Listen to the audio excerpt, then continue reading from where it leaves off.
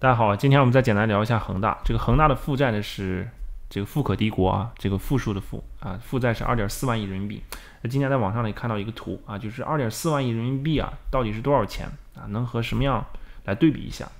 那我觉得这个图蛮有意思，给大家简单讲一下啊，就是说如果给十四亿人去分钱呢，每人可以分一千七百块钱啊。如果是跟银行的总资产相比呢，相当于一个上海银行的总资产啊。其实上海银行的规模并不小的，属于城商行里面比较大的体量。如果是国防预算的话，相当于两年的国防预算啊，大家可想而知啊。那它相当于太原五个太原市 GDP 啊，相当于五点七个中国首富的身价，相当于十个啊北交所上市公司的市值啊，相当于四十年的这个二零二二年的茅台的净利润，相当于四十八艘航空母舰的造价啊，这个可以造四十八艘航母了。那相当于四亿根的爱马仕皮带啊，所以说这个负债的金额啊，确实是量化以后拿这些对比以后啊，让我们感知一下。啊，究竟这个有多大？那到底是恒大这些年发生了什么啊，让它的债务规模呢如此快速剧烈的扩张啊？我们看一下，其实恒大在二零一五年以前，这个债务呢还算是比较啊能接受吧啊，这个债务在三千六百亿这个规模。那到了这个二零一五年以后开始飙升，尤其是二零一六年啊，从二零一五年的五千亿啊六千一百四十九亿到二零一六年的一这个一万一千五百八十三亿啊，几乎是相当于一个扩翻倍的一个扩张。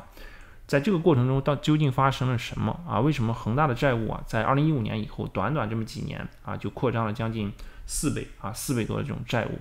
那这个债务体量的呃这这么大剂量的这种翻倍啊，造成了这个恒大的狂飙突进啊。它其实虽然二零一五年以后啊，中国的就是房地产的涨价去库存啊，是发展是很迅速的啊，但是恒大的这种债务的扩张速度远远超过了二零一五年中国房地产市场的扩张速度。二零一五年以后呢？中国房地产的这个销售面积呢，从十二点八五亿平米呢扩张到是是二零二一年巅峰的十八亿平米，销售金额呢从九万亿啊到十八万亿啊，基本是我们就是说假设来翻倍来扩张吧。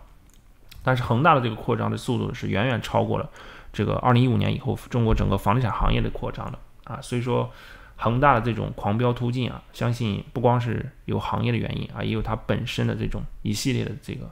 复杂的因素在里面啊，我相信等到。未来吧，啊，未来大家在回顾恒大这个案例，在抽丝剥茧的去分析它的时候啊，一定那个时候呢，可能很多的迷雾啊，重重的迷雾呢，才会揭露出来啊，才会披露出来。好了，今天的分享呢就到这里，感谢大家的收看。那想了解更多的财经知识呢，欢迎扫码关注我们的公众号“蒙面财经”，加入会员圈子，每周日呢定时直播。那我们呢下期再见。